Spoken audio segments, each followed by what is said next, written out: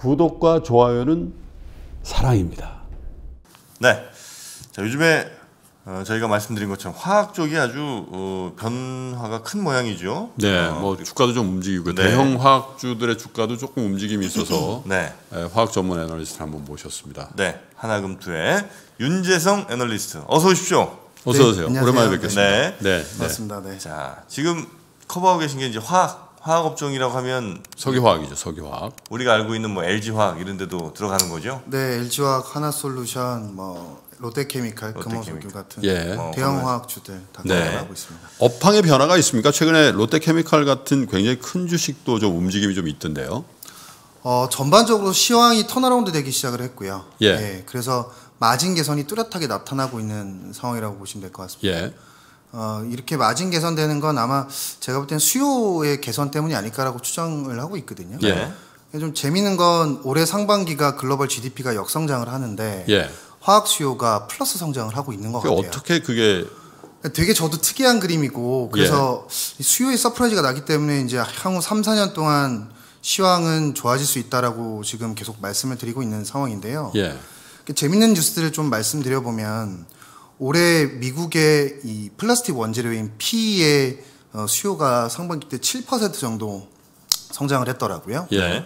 올해 미국의 GDP 성장률이 거의 마이너스 10% 정도 되는 것 같은데 네. 되게 특이한 그림입니다. 원래 석유화학 수요라는 거는 GDP의 함수고요. 예. 보통 탄성치가 한 1에서 1.5배 정도 됩니다. 예. GDP가 3% 성장을 하면 4% 어, 석유화학 정도. 수요는 4% 정도 성장한다고 예. 보시면 돼요. 추락하면 더 많이 추락하고 그런다는 그렇죠. 거죠. 탄성치가 예. 그렇다는 얘기가. 근데 뭐 이게 역성장을 했던 게 2008년 9년도 금융위기 때가 석유화학 수요가 역성장을 했습니다. 예. 당연히 그때가 GDP가 역성장을 했으니까요. 네. 그래서 이번에도 저도 어, 석유화학 수요가 역성장할 거라고 생각을 했었습니다. 네. 너무 특이하게 플러스 성장을 한 거죠. 어떤 이유인가요? 그래서 저도 이게 너무 특이해서 좀 이유를 찾아봤는데 어, 제가 볼 때는 이 사람들의 생활 방식이 변하면서 예. 그러니까 저희 뭐 언택트 얘기를 많이 하시잖아요. 네. 생활 방식이 변하면서 이 석유화학의 수요 행태도 굉장히 많이 변화하고 있다라고 생각이 들고요. 네. 어, 단적인 예로 얘기를 들어보면 저희 해외 여행 안 가시는 대신에 가전 제품을 좀 많이 사시는 것 맞습니다. 같아요. 네, 그리고 어, 뭐 온라인 쇼핑도 많이 하시면서 택배 물량들 늘어나고 있거든요. 네. 그 택배 물량들도 전부 다 화학 제품들이 다 포장용으로 쓰입니다. 그렇죠. 그리고 요즘에 뉴욕의 뉴스들 보면 도심에서 외곽 쪽으로 다 빠져나가는 움직임들이 계속 나오고 있고 네. 거주지를 요즘- 예, 그래서 미국 쪽의 주택 지표들이 요즘에 좋아요. 어, 굉장히 좋잖아요. 네. 이런 것들도 다 어, 이런 현상을 반영하고 있다고 생각이 들고 예. 그러면 도심에서 외곽으로 빠져나가면서 건설 수요들이 늘어날 수밖에 없잖아요. 음. 이러한 그 언택트 환경이 되면서 사람들의 행동 양식이 바뀌고요. 예. 이게 석유화학 수요를 자극하는 것 같아요. 그러니까 쉽게 얘기하면 저희 어, 연료유 수요, 그러니까 휘발유, 항공유 수요는 지금 많이. 줄어들어 있는데 예. 이 수요들이 화학 쪽으로 넘어오는 것 같다라는 음. 느낌들을 받는 거거든요. 그러니까 없던 수요가 생긴다라는 느낌이 듭니다. 예, 뭐 쉽게 얘기하면 저희 뭐 코로나 때문에 진단 키트들 많이 팔리는데 네. 이것도 다 플라스틱으로 만들어지는 거고요. 그렇긴 하죠. 요즘에 저희 이제 9시 넘으면 음식들 포장해서밖에 못 나오잖아요. 네. 아, 이것도 다 그렇죠. 그런 네. 상황이거든요. 그럼 아하. 패키징 수요들이 엄청나게 늘어나고 있습니다. 예. 아까 제가 말씀드렸던 폴리에틸렌 같은 제품들은 다 packaging 용으로 많이 사용이 되거든요. 네. 이 수요가 이제 지금 윤재성 애널리스트 안에 들어가 있는데 우리 가림막도 이런 것도 다 사실 석유화학 상황. 어, 제품이잖아요. 이게. 예, 이게 폴리카보네이트거든요. 예, 폴리카보네이트 이것도 맞아요. 이 수요만 해도 엄청날 거예요. 아마. 그럼요. 이것도 엄청나고요. 마스크, 마스크 도 하긴 다 마스크도 다 석유화학 제품이고요. 예. 어, 저희 그 수술용으로 장갑을 많이 쓰시는데 아. 이런 것도 다 석유화학 제품이거든요. 네. 그러니까 결론적으로 팬데믹이 오면서 예. 어, 뭔가 행동의 양식이 변화하면서 석유화학 수요가 뭔가 새롭게 창출되고 있다라는 거고 그게 제가 볼 때는 연료유 수요, 휘발유, 항공유 수요는 줄어들고 요 수요들이 다 자 그러면. 어제도 국제유가 폭락했어요. 예. 어제 국제유가 많이 빠졌습니다. 왜냐하면 이게 그 사우디에서 그 가격을 낮춘다. 네, 맞습니다. 왜냐하면 수요가 없기 때문에 네. 그건 이제 이동 수요가 줄기 때문에 항공유라든지 뭐 이런 연료에 들어가는 것들 당연히 주는데 자 그러면 석유화학 업체는 어떻게 됩니까? 이게 원재료 값은 떨어진 거잖아요. 그렇죠. 그죠? 그런데 이쪽 화학 석유화학 제품에 대한 수요는 늘었다는 거잖아요. 네. 그 이게 마진 아닙니까? 마진이 어, 마진의 그래서 확대라고 마진이 생각해도 개선되고 됩니까? 있는 예. 상황이라고 보시면 될 것 같아요. 의미 있는 의미 있는 정도의 마진의 확대가 있- 보여요. 예, 실제로 뭐 ABS라는 제품이 있습니다. 이거는 가전용으로 주로 쓰이는 네. 제품인데요. 제가 뭐 데이터들 찾아보니까 중국의 올해 상반기 가전제품 수요가 작년 대비해서 꽤 많이 늘었습니다. 예. 그러니까 성장을 했습니다. 가전제품 수요가. 예. 그래서 이 가전제품에 들어간 ABS라는 제품이 지금 마진이 사상 최대치를 기록을 하고 있어요. 주로 어디서 만드는 거죠? 국내 로컬 업체 어, 기준으로. 국내 로컬 업체들 LG화학이라든지 롯데케미칼, 금호석유 이런 업체들 범용이군요. 대부분 아, 메이저 맞습니다. 업체들은 예. 다 만드는 거군요. 맞습니다. 대부분 예. 만들고요. 근데 문제는 이 ABS라는 제품 같은 경우는 북미에서 생산되는 비중은 5%밖에 안 돼요. 예. 아시아에서 80%가 생산이 되고 한국, 중국. 한국, 중국 뭐 그, 그게 거의 핵심이라고 보시면 될것 예. 같아요. 그러니까 이런 제품들이 거의 사상 최대치 마진을 내고 있는 상황이거든요. 네. 뭐 그러다 보니까 LG화학이 이번에 2분기 때 실적이 좋았던 것도 물론 배터리도 좋았지만 어, 사실 석유화학 쪽 실적이 매우 좋았다고 보시면 되고 어허. 네. 3분기 실적도 사실 아마 더 추가적으로 좋아지기 시작할 겁니다. 음. 예, 그래서 이런 마진이 개선되는 제품들이 보이기 시작했다라는 거고요. 네. 근데 지금 말씀드렸던 이런 ABS 같은 제품들은 가전만 가지고 좋아진 거예요. 예. 근데 사실 저희가 언택 이외에 이제 contact 관련된 화학 제품이라고 할 수 있는 게 자동차와 관련돼 있는 제품들이 아마 contact이랑 관련이 깊을 거고요. 예.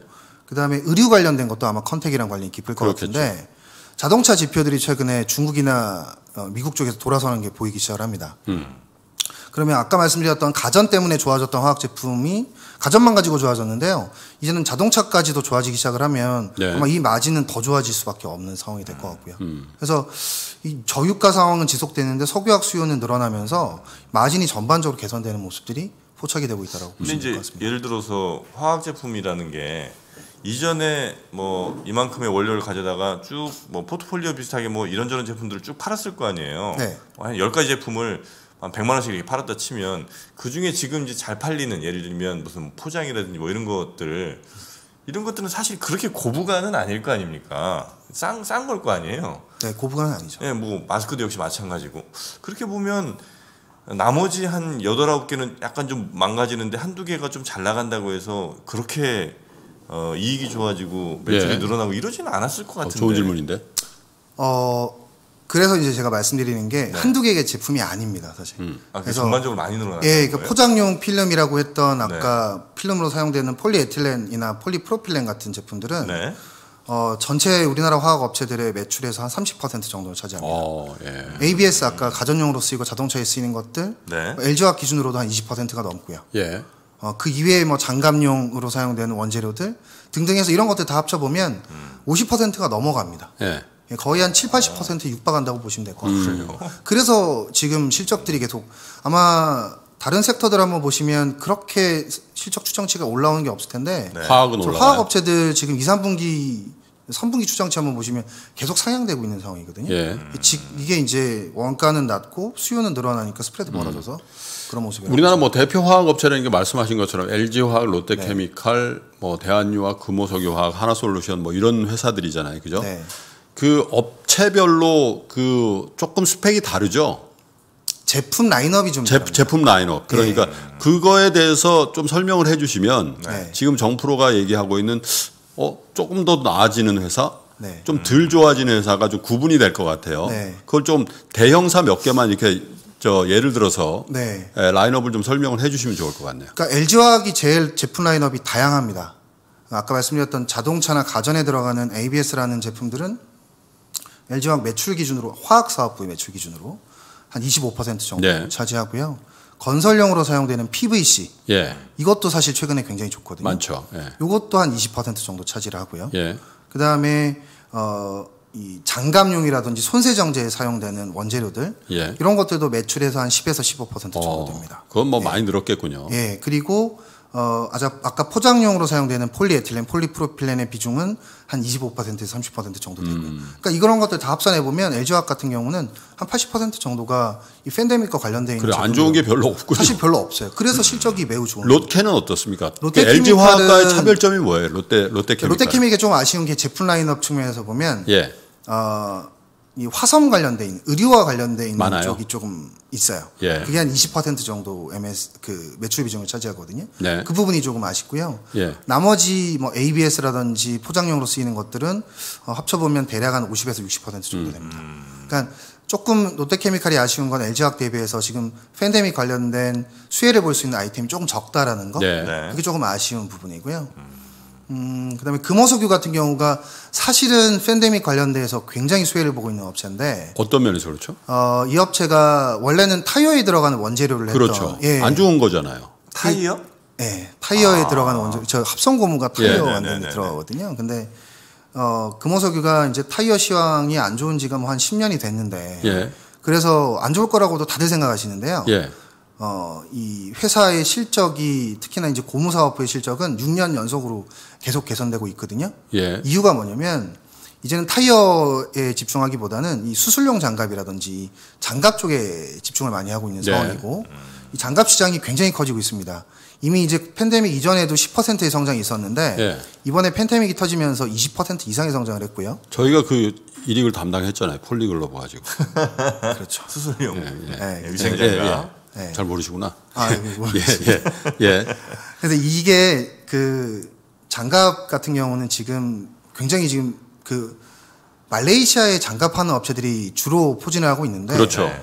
이 업체들이 주문을 지금 하면 600일 뒤에 주문. 말레이시아 최고 최고 부, 부 부호 중에 하나가 그그 장갑 스리트랑- 장갑 업체 장갑업체 맞습니다. 네. 그 오너도. 장갑 만드는 오너가 지금 세계 최대 말레이시아에? 부호가 됐고 네. 아 그래요? 말레이시아 시총에서 2등 3등 그러니까요. 하고 있어요. 아, 그래요? 최근에 좀 빠졌지만. 네. 근데 이 원재료를 공급해 주는 게 금호석유고요. 음. 아, 금호석유가 그 원재료 시장에 있어서 MS가 한 35% 정도 아, 1등입니다. 좋네요. 전 세계에서요? 전 세계에서 1등입니다. 어. 네, 그러니까 장갑 잘 팔리면 금호석이 좋을 수밖에 없어요. 그래서 장갑은 실적이 뭐 계속 요즘은 좋아지고. 장갑 안 끼고 하는 것 자체가 좀 그렇잖아요. 네? 맞습니다. 예. 어, 금호석유는 그런 쪽의 수요 네. 수혜를 많이 받고 있는 상황. 대한유화는 무슨 재료가 있습니까? 대한유화도 어제 보니까 뭐 다른 다른 뭐 이 화학 본류가 아니고 다른 이슈가 좀 있다고. 아, 대한유화도 사실은 롯데케미칼과 똑같은 구조인데요. 네. 근데 이제 이 만들고 있는 폴리에틸렌이 분리막용으로 사용되는 그러니까요. 폴리에틸렌을 하고 예, 있습니다. 2차 전지 분리막. 근데 사실 이미 예전부터 이건 하고 있었고요. 예. 예, 근데 이제 갑작스럽게 화학 시황이 turnaround 되면서 네. 좀 부각이 추가적으로 좀 되고 있는 상황이라고 보시면 될 네. 것 같아요. 요게 저 이제 제 경계가 정확히 어떻게 되는지 잘 몰라서 좀, 뭐, 좀 기초적인 질문 하나만 좀 드리면 정유랑은 확실히 좀 다른 거죠. 왜냐하면 이 원유를 갖고 와서 네. 막 이렇게 정제를 할 거 아니에요. 그럼 이제 휘발유나 뭐 경유 이쪽으로는 이제 지금 워낙 안 팔린다 치고 그러면 맞습니다. 네. 사실 전제를 굉장히 좀 많이 났을 텐데 이 화학 회사들은 이미 다 정제한 거 중에서 화학용으로 쓸 제품들만 정유 회사에서 사오는 건가요? 아, 이게 구조가 조금 네. 다른데요. 어, 정유사들은 원유를 사와서 정제를 네. 합니다. 그래서 휘발유, 등경유, 납사 같은 걸 네네네. 생산을 해요. 예. 근데 화학 업체들은 요 정유사가 생산하는 납사라는 게 있습니다. 나프타라고 하죠. 납사. 나프타. 아. 네, 통사. 정유사가 생산하는 납사라는 거, 나프타라고도 하는데요. 그걸 네. 사오는구나. 이거를 사와서 어, 화학 제품을 만드는 거죠. 예. 그러면 그 납사 가격은 굉장히 올랐겠네요. 왜냐하면 다른 수요들이 엄청 늘어났으면 아 근데요, 납사 가격 도 유가가 거의 연동하죠? 연동하거든요. 예. 유가에 연동하거든요. 어. 유가가 지금 낮다 보니까 납사 가격도 굉장히 낮아져 있습니다. 아 그래요? 네. 아, 수요가 좀 많더라도 근데 저, 이 석유화학 업체들은 가장 이상적인 시츄에이션이 그거군요. 원유 가격이 떨어져서 납사 가격, 원재료 가격이 낮아지는데 어떠한 이유든 수요가 늘어가지고 네. 제품 가격은 올라가는 구조. 맞습니다. 이때 이제 호황이 오는 거죠. 그렇죠. 그리고 이제 이전에 차화정 저희 뭐 기억하시겠지만 예. 그때는 수요가 너무 좋아서 유가도 올랐지만 제품 가격은 더 많이 올랐던 예. 구간이거든요. 뭐 예. 그런 때도 사실 수혜를 보는데 이번에는 그때 사이클이랑 좀 다른 것 같긴 해요. 예. 유가는 좀 못 올라갈 가능성이 높아졌고 예. 오히려 제품 가격이 올라가는 예. 그런 사이클. 그래서 뭐 통상 화학 업종 애널리스트 upstream이다 downstream이다 얘기인데 네. 그, 그 용어 설명을 좀 한- 해주세요. 그러니까 upstream이나 downstream은 뭐 어떻게 보느냐에 따라 다른데 네. 어, 원유부터 시작해서 석유화학까지 이걸 통틀어서 본다면 예. 어, upstream은 원유 쪽이 upstream이고요. 정유 쪽. 예, 정유 원유 생산하는 쪽 예. 그쪽이 upstream이고요. downstream은 뭐 화학 제품을 만드는 쪽이 downstream일 거고요. 음. 이걸 좀 축소시켜서 석유화학 업체만 놓고 보면 네. 납사가 upstream일 거고요. 납사 예. 쪽이 upstream일 예. 거고 어, 화학 제품 만드는 쪽이 downstream일. 폴리에틸렌이나 뭐 네, 이런, 쪽. downstream일 거고요. 자, 그래서 이제 그 화학 업종의 어떤 그 글로벌 팬데믹 상황에서의 특수한 우리 삶의 패턴이나 소비의 패턴이 바뀜으로 해서 네. 뭔가 화학 제품에 대한 수요가 늘었다. 네. 이걸 경기하고 관련 지어서 네. 경기는 좋지 않잖아요. 네. 경기가 더 좋아지는 상황에서 우리의 행동 반경 행동 방식이 바뀐다면 이건 폭발할 것 같은데 네. 경기는 안 좋은 상황에서 이게 좋아진 거니까 이게 영속적일까? 네. 그래서 화학 업종을 그 살 정도로 화학 업종에 대해서 배팅을 크게 할 정도의 큰 변화이면서 영속적인 변화라고 판단할 수 있을까라고 많이 궁금해 하시는 것 같아요. 네, 그럴 수 있을 것 같아요. 어, 그래서 제가 최근에 좀 주목하고 있는 건 예. 언택 관련돼 있는 화학 제품들은 이미 좋아졌다고 말씀을 드렸잖아요. 예. 그러면 어, 컨택과 관련돼 있는 제품들이 이제는 좀 올라오는 그림이 나올까 음. 이런 것들을 집중해서 보고 있는 상황이거든요. 자동차 같은 거. 예, 자동차 같은 게 대, 뭐 대표적이죠. 예. 어, 화섬 쪽, 의류 쪽이라든지. 예. 근데 제가 어제도 저희 quant 하는 친구랑 좀 얘기를 많이 했었는데 그 미국 쪽의 자동차 판매량, 아, 자동차 업체들의 어, 이익 추정치랑 매출 추정치가 최근 들어서 가파르게 상향되고 있다. 올라가요? 네, 그렇다고 하더라고요. 좀 이상, 되게 이상하다고 하면서 저한테 보여주셨거든요. 그래서, 어, 이게 자동차 쪽이 이렇게 또 turnaround 되기 시작하면 분명히 이건 굉장히 contact과 관련되어 있는 큰 수요들이잖아요. 네. 이런 것들을 저도 주목해서 보고 있습니다. 그래서 이런 지표들이 올라오는데도 untact과 관련되어 있는 제품들이 그렇게 빠지지 않는다면 음. 그러면 사실은 같이 올라가는 거예요. 예, 완전 어, 수요가 폭발하는 상황이 될 수 있다고 생각을 하는 거고요. 예. 그래서 이제 저도 지난 어 지난주에 뉴스 보다 보니까 되게 재밌는 걸 봤어요. 네. 어 USA Today라는 데서 나온 건데 미국인들의 설 그 자동차에 대한 관념의 변화가 있다고 하면서 예. 설문조사를 설명을 해줬는데 예. 어, 네 가지 정도가 되게 재밌는데요. 예. 첫 번째가 뭐냐면 그 공유 서비스 예. 뉴욕 도심 내에서 뭐 우버라든지 리프트 같은 거 이제 사람들이 사용 거의 안 하기 안 시작했다고 하죠. 하고요. 예. 대중교통 이제 거의 안 타기 시작했다라는 얘기들이 있고요. 네. 그래서 뉴욕에서 도- 대중교통 이용하는 사람들이 최근 들어서 그 자동차를 많이 알아보고 있대요. 그래서 딜러들이 최초로 자동차 구매하려고 하는 사람들이 늘어나고 있다고 보고를 하고 있다고 하더라고요. 생애 최 생애 최초 생애 자동차 최초. 구매자들. 네. 예. 거기다가 올해 그 미국인들의 10%가 처음으로 캠핑을 갔대요. 캠핑 캠핑을 갔대요. 생애 예. 처음? 생애 처음으로 캠핑을 갔대요. 10%가 미국인의 10%가. 실제로 뉴욕 사는 사람들 이런 사람들 캠핑 안 하거든요, 사실. 그러니까. 예. 아 우리나라 사람들도 요즘 캠핑 많이 해요. 아우 저도 캠핑하는데 자- 어, 인구가 장난 아닙니다. 그리고 네. 미국인들의 20%가 최초로 국립공원을 방문, 방문했대요. 예.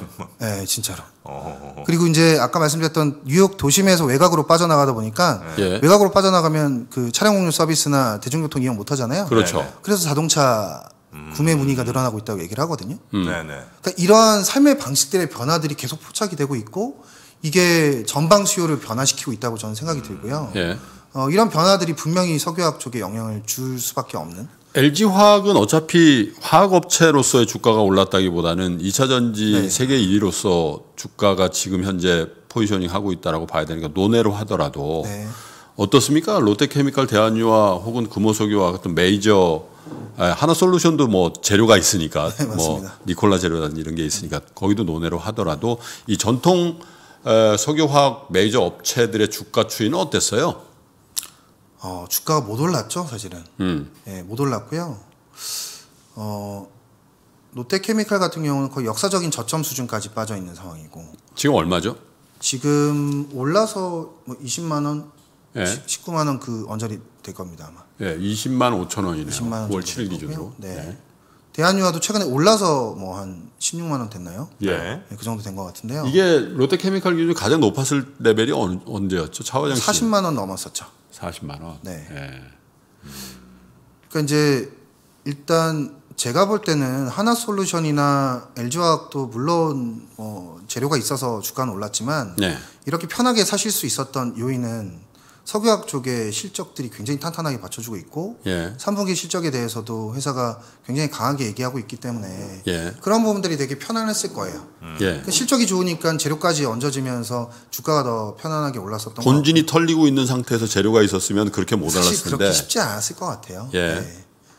어, 그런 상황이라서 이제 주가는 올랐던 거고 네. 예. 이제 앞으로는 이 석유화학 쪽의 실적들이 좋아지는 것들이 그 다른 업체에까지 온기가 퍼져나갈 수 있는 환경이 될 수 있다라고 생각을 음. 하는 거죠.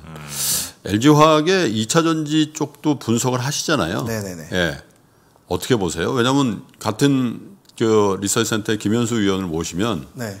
고참님께서 하셔서 LG화학은 제가 no comment입니다. 그래서 네. 그래서 제가 어, 그날도. 윤재성 위원을 내가 모실 거라고 얘기를 해서 네. 이제 모셨으니까. 그렇죠. 뭐, 뭐 우려들은 많이 하시는데요. 예. 뭐 알고 계시는 것처럼 경쟁력의 측면이라든지 음. 지금 뭐 수주 잔고 쌓여가는 것들, 뭐 수익성도 개선되는 것들 계속 보여주고 있는 상황이고요. 네. 그래서 저도 이제 이걸 valuation을 좀 해보니까 예. 어, CATL이랑 어쨌든 capa는 더 크고 음. 그다음에 수익성은 좀 떨어지긴 합니다만 capa는 더 크고 어, 경쟁력인 측면에 있어서도 뭐 전혀 유럽 업체들이랑 협력을 많이 하고 있기 때문에 떨어지는 네. 건 없고요. 예. 그래서 valuation을 한번 해보니까 이 valuation 제가 어떻게 했냐면 어, capa 대비 시총을 계산을 할 수가 있잖아요. 예. LG 배터리- 화학의 예, 그러니까 LG화학과 생산 능력. 예, 생산 능력 대비해서 네. 어, 기업 가치를 나눠서 네, 네. 계산을 왜냐하면 해보면 지금 생산 능력이 중요한 게 지금 주문이 물 그러니까요. 주, 문이 대기하고 있는 상태니까. 예. 그러면 그렇게 그걸 나눠 보면 1기가와트당 어, 시총이라든지 기업 가치가 계산이 되잖아요. 예. 그- 그거를 CATL이랑 LG화학이랑 비교를 해보니까 CATL 대비해서 배터리의 가치가 대략 한 50% 가까이 디스카운트가 되고 있어요. LG 화학이 LG 화학이요. 예. LG 화학이 싸요? 예, 배터리의 가치만 놓고 보면 예. CATL이 비싼 거겠지. 뭐 그럴 수도 있고요. 예. 그럴 수도 있고 LG 화학이 싼 거일 수도 있는데 예. 뭐 그건 뭐, 뭐 향후에 지나봐야 알겠지만 예. 어쨌든 경쟁력의 측면에 있어서나 capa 측면에 있어서 경쟁 우위가 있는데도 불구하고 디스카운트가 되고 있다라는 네. 거고 그러면 이러한 그 디스카운트 요인은 뭘까라고 생각해 보면 네. 이익률일 것 같아요. 음. 어, CATL의 이익률은 10%가 넘어가고요. LG화학은 계속 적자를 내다가 이번에 한 4% 5% 이익률의 차이는 주- 정부 정책입니까? 어, 보조금을 계속 보조금. 그러니까 예. 제가 말씀이 정부 맞습니다. 예, 그 이유가 제일 크고요. 네. 뭐 그러다 보니까 이익률 차이가 나고 그게 valuation 디스카운트 요인이라고 생각을 네. 하고 있습니다. 근데 어, 회사가 계속 얘기하는 것처럼 high single의 영업이익률까지 향후 2, 3년 안에 도달할 가능성이 high single이라는 게 7, 8, 9 이런 예, 거죠. 7, 8, 9%의 영업이익률을 도달할 수 있다라는 회사의 guidance라든지 이런 것들을 감안해 보면 네. 이 CATL 대비해서 디스카운트가 계속 해소되는 그림으로 갈 수밖에 없다라고 음. 그. 정부 지원금 뭐 정책이라는 게 네. 소비자 단에서의 지원금이에요? 아니면 기업에 지원해 주는 거예요? 그러니까 이제 CAPEX를 이제 공장을 지을 때도 보조금을 주니까 음. 그러니까 예를 들어 아, 보-? 그 감가상각비가 상대적으로 덜 들어가죠. 네. 그러다 보니까 이익률이 당연히 높을 수밖에 없는 상황. 네. 뭐 소비자 단에서 주는 거는 따로 있고 예, 보조금이 따로 있고요. 만약 CATL이 증설하겠다 그럼 거기다 몇십 프로 정부가 맞습니다. 대준다는 얘기죠. 그러니까 엄청난 혜택을 주는 거죠. 그게 정부가. 디스카운트 요인이죠. 근데 분할 얘기가 나왔었어요. 네. LG 화학 LG 화학. 배터리 분야 배터리 네. 분사 그 담당 애널리스트 입장에서 볼 때는 어느 정도 가시성이 있는 거고 그렇게 됐을 경우에 투자자들은 어떻게 해야 됩니까? 아, 사실 이게 내부적으로 결정이 안 돼 있는 상황인 것 같아서 네. 저도 뭐 예. 공격적으로 말씀드리긴 좀 어려울 것 같긴 하고요. 예. 한다면 뭐 한다면 뭐 뉴스에 나온 것처럼 물적 분할 얘기는 많이 나오고요. 네. 예. 어, 그러니까 LG 화학 밑으로 이제 100% 자회사인 LG 배터리 뭐 네. 가칭으로 하면 네. 생기는 거기 때문에 사실은 아, fundamental 변화는 없습니다. 예. 음. 예, 근데 이제 어, 밑으로 내려놓고 향후에 자회사로 만들어 놓고 향후 뭐 1, 2년 안에 상장을 할 가능성들은 생기니까요. 네. 네. 상장하면 이제 CATL 대비해서 디스카운트가 해소될 수 있다라는 기대감을 가져갈 수 있겠죠. 예. 어, 그 정도로 보시면 될 것 같고 사실 당장은 이게 이 물적 분할하는 게 어, 기업 가치의 변화가 예, 없- 기업 가치 변화는 없습니다. 투자자 투자자들은 그걸 호재로 호재로 인식하는 게 좋아요. 아니면 아 이거 별로 별론데 이렇게 하는 게 좋습니다. 아주 기본적인 그러니까 질문. 지금 주가가 올라와 있는 상황이고 그런 가능성들을 반영을 해서 주가가 올랐다고 생각이 들거든요. 음. 그러니까 지금은 사실 중립적인 관점에서 보시는 게 맞죠. 어, 네, 반영돼 있다. 네, 저는 그렇게 보고 있습니다. 네. 최근 며칠 조금 빠졌잖아요. 네, 그거는 너무 많이 올라서 빠진 건가요? 뭐 전반적인 시장 분위기 플러스 뭐 과도한 뭐, 아, 뭐 주가 많이 올랐으니까 차익 실현 그것들 분명히 있었을 거라고 생각하고 있습니다. 네. 알겠습니다. LG 화학, 롯데케미칼, 금호석유화학, 대한유화 이런 종목들 전통 석유화학이지만 에, 우리 삶의 패턴의 변화, 그 소비의 패턴의 변화가 언택에서 컨택까지도 확장된다면 이건 굉장히 구조적인 변화다라고 인식하고 또 마침 롯데케미칼 같은 그 큰 대장 이 그 대형 화학 업체의 주가가 그 역사적 저점 부근에 머물러 있기 때문에 한번 주의 깊게 보자라는 게 혹시 하나만 좀 제가 끝으로 여쭈고 싶은 네네. 게 유럽에서는 뭐 우리나라도 요즘 그렇습니다만 플라스틱 제품 좀 그만 쓰자 음. 이런 거 엄청 얘기 많이 하잖아요. 결국 플라스틱 제품이라는 게 다 화학 제품일 텐데 네. 이게 혹시 악재로 작용할 가능성은 없습니까? 그러니까 이미 그런 것들에 대한 수요 감소 가능성들을 반영해서 네. 주가는 뭐 말씀드린 음. 것처럼 많이 화- 하락해 있는 상황이고요. 그래요? 그리고 이제 이 플라스틱이라는 게 사실 저희가 생각하는 뭐 이런 범용으로 쓰이는 플라스틱도 많지만 음. 제가 볼 때는 중장기적으로 보면 이 플라스틱의 쓰임새는 계속 늘어날 수밖에 없을 것 같아요. 예를 들어서 음. 무인차가 된다고 생각, 자율주행이 된다고 생각을 네네. 해보시면 사실 웬만하면 사고가 나기 힘들게 될 거잖아요. 음. 그럼 굳이 자동차를 강판을 가지고 만들 필요가 있을까요? 음. 그렇게 되면 경량화라든지 이런 이슈들 때문에 당연히 플라스틱, 엔지니어링 플라스틱에 엔지니어링 플라스틱이라든지 플라스틱으로 계속 만들기 시작을 할 거예요. 음. 그러니까 이 플라스틱 시장이라는 게 네. 어, application이 굉장히 많이 열릴 수 있는 시장이라는 거고요. 네. 이 경제가 구조적으로 성장하는 뭐 GDP가 성장하는 국면이면 네. 석유화학의 수요는 그렇게 줄어들 가능성은 거의 없다라고 보시면 맞습니다. 알겠습니다. 예. 윤재성 애널리스트의 석유화학 그 최신 리포트는 저희가 윤재성 애널리스트의 협조를 받아서 저희가 에, 저희 신의 자료실에 올려둘 테니까 한번 그 상세한 개별 종목들에 대한 타켓 프라이스나 이런 것들 한번 참고하시면 좋을 것 네. 같습니다. 우리 윤재성 윤재성 어, 애널께서 또 끝으로 하고 싶은 말씀 있으시죠? 네. 말씀하세요. 아, 네네네. 그러니까 저 이제 석유화학 아니 산업 하나 금투 뭐 저기 아, 안, 아, 안 그래요? 합니까? 아, 안 하신다는데 왜 자꾸 아, 그러세요? 뭐, 뭐, 인터. 아 그렇습니까? 예. 안 아니, 하셔도 네, 돼요. 네. 네. 저희가 알아서 할게요. 아, 네. 네네네. 예. 자 오늘 함께 해주신 자 하나 TV도 많이 봐주시고요. 네. 아, 네. 네. 자, 우리 하나 금투의 윤재성 애널리스트 오늘 아주 선명한 말씀 대단히 고맙습니다. 감사합니다. 네, 감사합니다. 네. 예.